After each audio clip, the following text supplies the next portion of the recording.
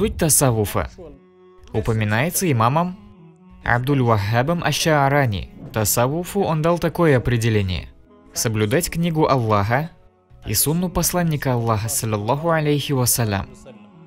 Мы видим, что также это включает науку о том, как справляться с недугами, болезнями сердца.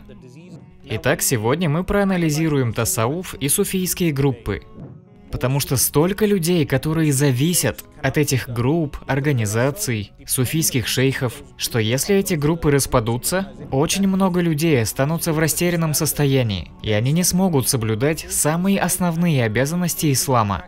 Итак, вот эта первая часть связана с вопросами, в которых все мы единогласны. Даже те люди, которые приписывают себя к современному салафитскому движению, согласятся с этими пунктами что молодежь нуждается в том, чтобы вокруг них постоянно была группа праведных людей, чтобы они могли соблюдать ислам.